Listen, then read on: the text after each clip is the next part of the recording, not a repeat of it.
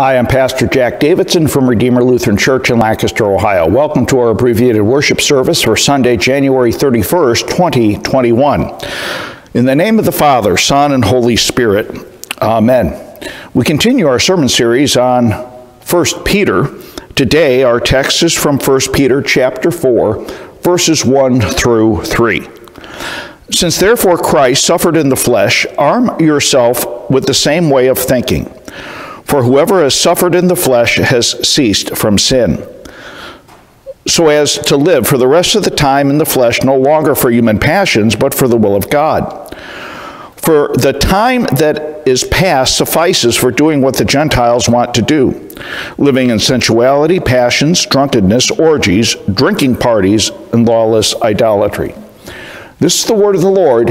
Thanks be to God. In the name of Jesus, dear friends.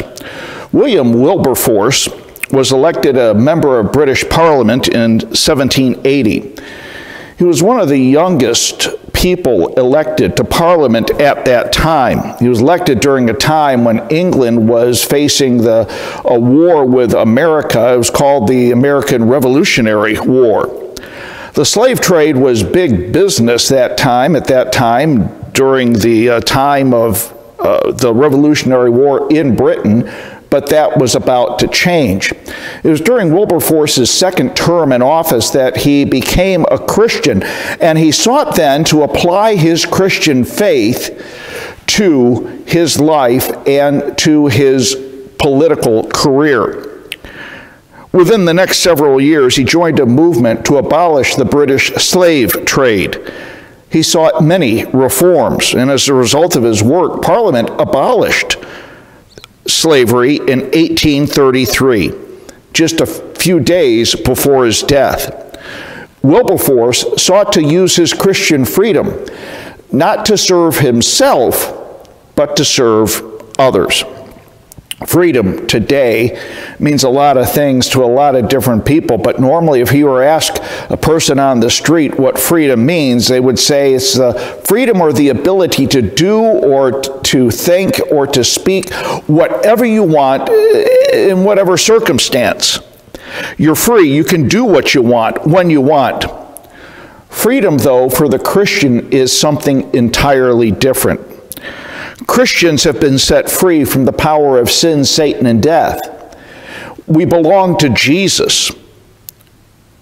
As believers in Christ, we've been forgiven in Christ, set free from the bonds of sin, so that we might live our life to the glory of God. How should we live our lives? It's a question that a lot of people have today. Do we live our lives for ourselves? Or do we live our lives for others? Do we live according to the passions of the flesh, or do we live according to the will of God? Now, these were real questions that the Christians to whom Peter was writing to had in their day and age. These early Christians had no country to call their own. They were looked down upon and despised by those whom they lived with in their communities. The norm at that time was, was for people to live in freedom, doing what they want when they wanted, to live according to their passions and pleasures.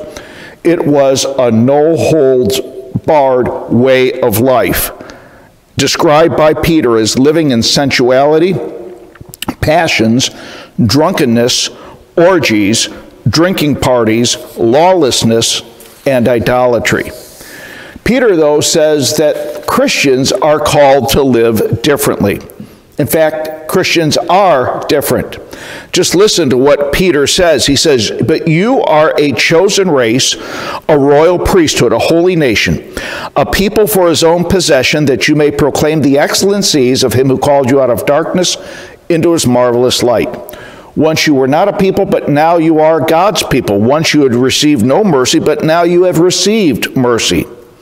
Behold, beloved, I urge you as sojourners and exiles to abstain from the passions of the flesh which wage war against your soul. Keep your conduct among the Gentiles honorable, so what, that when they speak against you as evildoers, they may see your good deeds and glorify God on the day of visitation.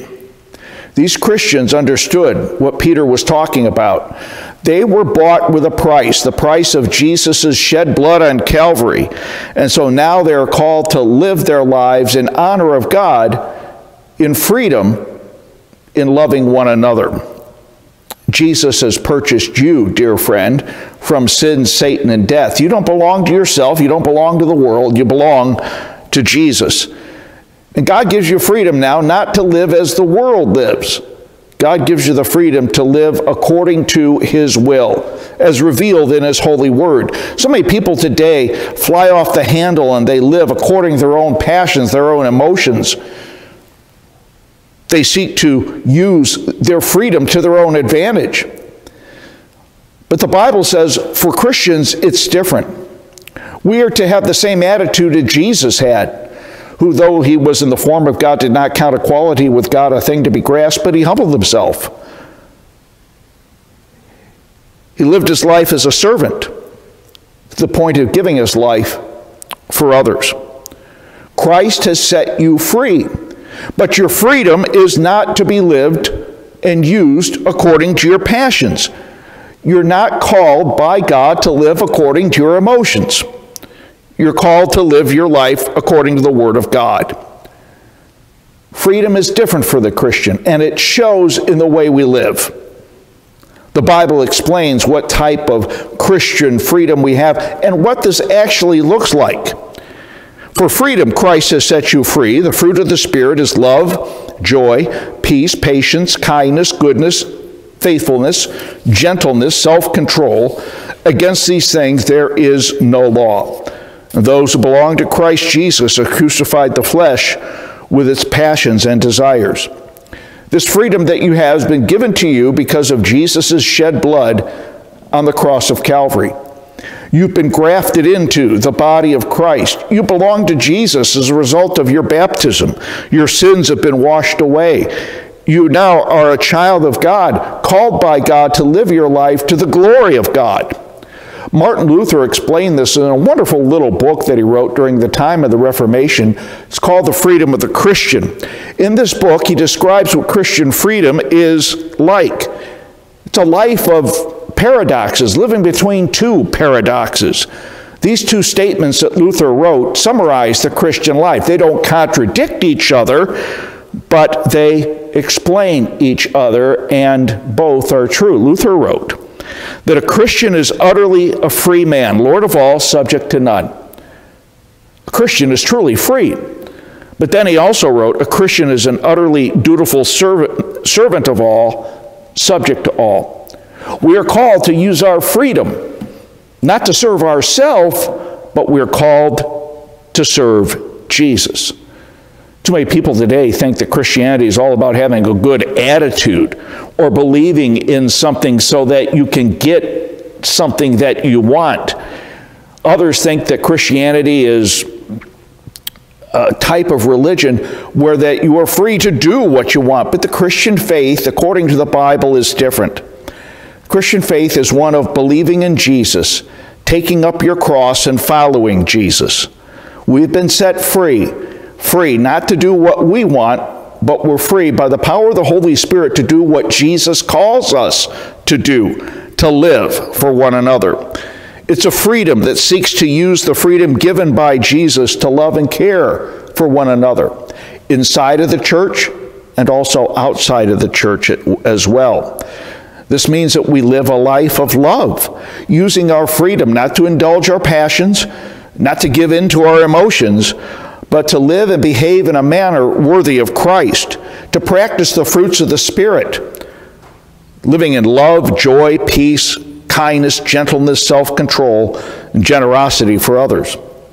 The needs of the world today are enormous. And one Christian and one small church might think there's nothing that we can do to really make an impact to change things. But God tells us that it's different and He's at work in and through us. You and I have been called and been given a wonderful freedom in Jesus Christ to use that freedom to help and to serve others. There was a time at the end of Jesus' ministry where a woman came up to Jesus and she had a, a jar of expensive ointment, of expensive perfume. She broke open that jar and poured that expensive ointment, that expensive perfume on Jesus' head. And when the disciples saw this, they were indignant and said, This, this perfume is expensive and could have been sold, and the money that we, were, we have raised could have been given to the poor. But it's interesting to note what Jesus said. Jesus said, Leave her alone. Don't trouble her. She's doing something good for me. She has done what she could. We may not think that we're able to do anything of significance for our Lord and Savior Jesus Christ in our lives. But the Lord tells us what we do in His name, we do for Him, and He works in and through us so that we might touch others with the love of Jesus. And in doing so, we accomplish much good. For when we use our freedom to help others, we show the love of Christ and witness to others our faith in Jesus. And so, dear friends, make the most of the opportunities God gives you each and every day to live not for yourself, not the way the world lives, but to live for Jesus to the glory of God. And in Jesus' name, amen. And now may the peace of God, which surpasses all human understanding, keep both our hearts and minds through faith in the one Lord and Savior, Jesus Christ. Amen. We pray together the Lord's Prayer. Our Father, who art in heaven, hallowed be thy name. Thy kingdom come. Thy will be done on earth as it is in heaven. Give us this day our daily bread Forgive us our trespasses as we forgive those who trespass against us. And lead us not into temptation, but deliver us from evil. For thine is the kingdom, and the power, and the glory, forever and ever. Amen. And now receive the blessing of the Lord our God, the grace of our Lord Jesus Christ, the love of God our Heavenly Father, and the fellowship of the Holy Spirit be and abide with you now and always. Amen. I want to thank you for joining us for this abbreviated worship service for Sunday, January 31st, 2021. It's coming to you from Redeemer Lutheran Church, 1400 Concordia Drive, Lancaster, Ohio. If you have no church home, we invite you to make Redeemer your church home. We worship every Sunday morning at 10, 1015. We would love to have you as a part of our family.